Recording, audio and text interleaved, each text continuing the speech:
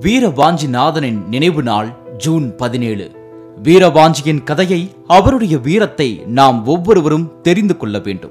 திருநெல்வேலி மாவட்டம் செங்கோட்டையில் ஆயிரத்தி எட்நூத்தி எண்பத்தி ஆறாம் ஆண்டு ரகுபதி ஐயர் ருக்மணி அம்மாள் தம்பதியருக்கு மகனாக பிறந்தவர் வாஞ்சிநாதன்.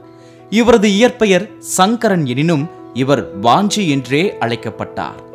வாஞ்சி செங்கோட்டையில் பள்ளி படிப்பை முடித்ததும் திருவனந்தபுரத்தில் உள்ள திருநாள் மகாராஜா கல்லூரியில் பிஏ வரை படித்தார். கல்லூரியில் படிக்கும்போதே முன்னீர் பள்ளம் சீதாராமையாரின் மூத்த புதல்வியான பொன்னம்மாளை மணந்தார். கல்லூரி படிப்பு முடிந்ததும் புனலூர் காட்டிலாக்காவில் பணியாற்றினார். இந்தியாவில் ஆங்கிலேயருக்கு எதிராக செயல்படும் தீவிரவாதிகளுக்கு பிரெஞ்சு ஆதிக்கத்தில் இருந்த புதுச்சேரியில் உதவிகள் கிடைத்தன. அங்குள்ள தீவிரவாதிகளுடன் தொடர்பு கொண்டார்.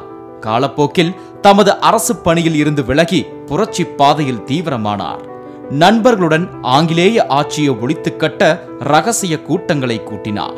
நண்பர்களையும் தீவிரமடைய செய்தார். வாஞ்சிநாதன் புதுவையில் புரட்சியாளர் வாவேசு ஐயர் வீட்டில் தங்குவதுண்டு.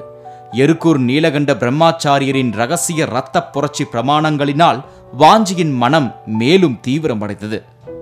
நவம்பர் இருபத்தி மூன்று ஆயிரத்தி எட்நூத்தி எழுபத்தி இரண்டில் தந்தை ஐசக் ஆஷ் தாயார் சாரால் ஆஷ் இருவருக்கும் மகனாக அயர்லாந்தின் ஸ்ப்ரெக்பார்ன் என்ற இடத்தில் பிறந்தவர் Robert William D. Escourt Ashe.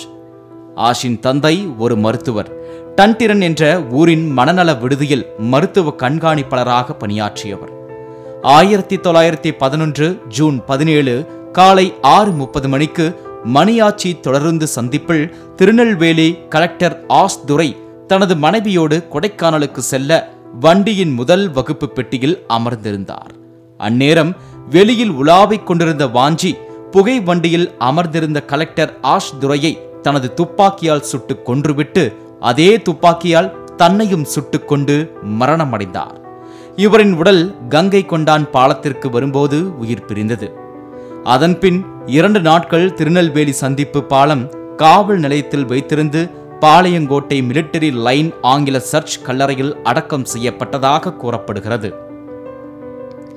வாஞ்சியின் பிரேத விசாரணையில் அவர் போட்டிருந்த உள் சட்டையில் இருந்த துண்டு கடிதத்தில் கலெக்டரை சுட்டுக் கொன்றதற்கான காரணமும் சென்னையில் மூணாயிரத்திற்கும் மேற்பட்ட தீவிரவாதிகள் தன்னுடன் இருப்பதாகவும் குறிப்பிட்டு ஆர். வாஞ்சி ஐயர் செங்கோட்டை என்றெழுதியிருந்தது.